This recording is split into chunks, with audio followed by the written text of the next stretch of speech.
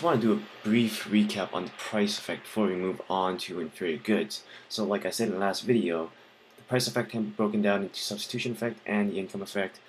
And the substitution effect is the effect of a change in price on the quantity bought when the consumer remains on the same difference curve. So we could say that we got a price cut, or we could say that uh, the the thing that we are focused on, the the thing that we are buying, the price for that thing changed, and this will have an effect on the quantity bought, and to re to remain on the same difference curve, we moved from point C to point K because well the price for the item that we were looking at changed. So to remain on the same difference curve and remain indifferent between point C and point K, uh, we we moved from C to K, and this light orange line is the new budget line that we are looking at that actually manages to become the tangent line for K on the same indifference curve that we were on before the price change.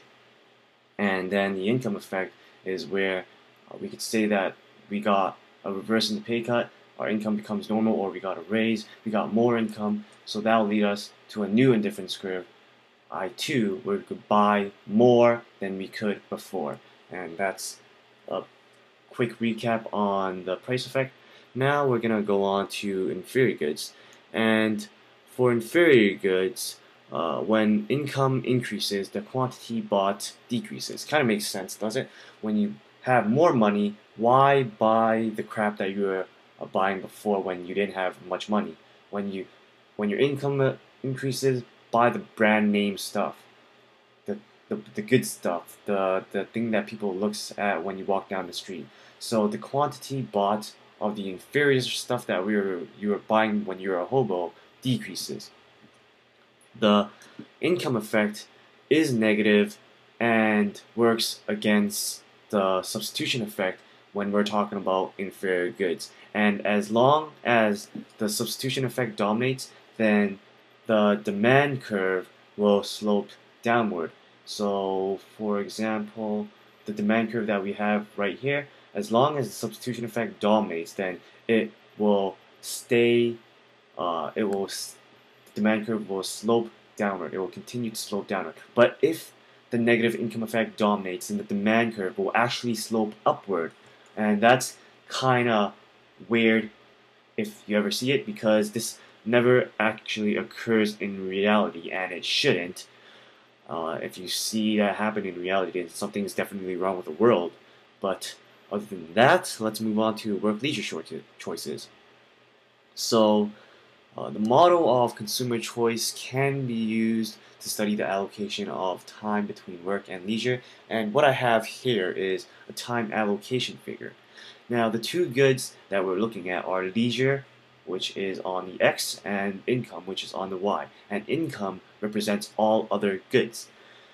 Now we buy leisure by not going to work, by not supplying labor, and by foregoing income. So the price of leisure is the wage we give up or the wage foregone. Now, the labor supply curve is what I want to look at here. By changing the wage rate, we are able to find a person's labor supply curve.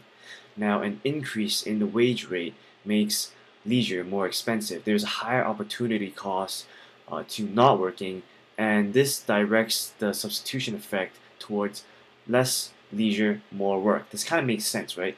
If your wage is say like $10,000 an hour versus $10 an hour, of course you'll give up more when you don't work versus well, you give up more when you don't work for that $10,000 versus uh, when you don't work for that $10, uh, $10 an hour. So an increase in the wage rate makes leisure more expensive higher opportunity cost in not working and directs the substitution effect towards less leisure, more work because you'll make more. And uh, for this graph right here, this is our indifference curves and right now where our wage is $5 an hour and uh, we apparently work from this graph, we apparently work uh, 148 hours per week. And our income is $100 or actually I just I should say that reading this more carefully, the amount of leisure that we have per week is 148 hours, and our income, our dollars per week, is $100 per week. So we make, uh, I guess, like we work 20 hours per week. Sounds about right. 20 hours times 5, $100 per week. Yep, sounds about right. Now, a higher wage rate has a positive income effect on leisure.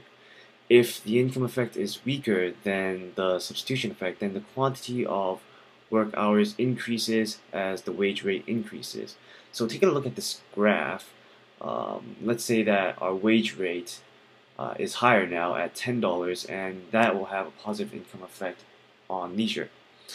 Now, if the income effect is weaker than substitution effect, the quantity of work hours increases as the wage rate increases. So that is happening here. The income effect is weaker than substitution effect. That is why we are uh, having more or less leisure hours per week. We're only having 133 leisure hours per week, and we're making more money though. We're making $680 per week.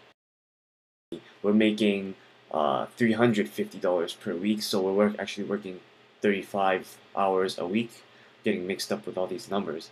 So when the wage rate increases from $5 to $10 an hour, work increases from 20 to 35 hours per week, and that is the move from A to B. Now let's look at when the wage rate rises some more. So if the income effect is stronger than the substitution effect, then the quantity of work hours actually decreases as the wage increases.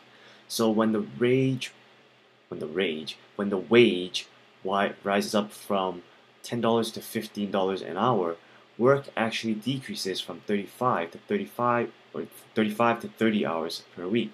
And that is a move from B to C. So what actually happened is our wage once again increased from $10 to $15. And when that happens, how much uh, leisure we actually take is now we're taking more leisure. Before at $10 we are taking 133 leisure hours per week. Now at $15 we're taking 138 leisure hours per week and we're making $450 per week. Remember that the income effect is the effect of a change in income on the quantity of a good consumed. So the good in this case is leisure. So when our income uh, changes and rises, if the effect of that rise is stronger than the substitution effect in this third case, then the quantity of work decreases as the wage increases. In the second case, where the change in income uh, is when the change in income rises, or when the change in, when there is a change in income, the in, our income rose from five to ten dollars in in the second case, and the effect on of that change in income on on leisure was weaker than substitution effect, and that is why the quantity of work hours increased as the wage. Uh, that is why the quantity of the work hours increased as the wage rate increased. Now, taking all these together, uh, actually, I'll finish this in the next video. I feel like I'm running out of time. Uh, please rate, comment, subscribe if you haven't already, and I'll see you guys next time. Thanks for watching.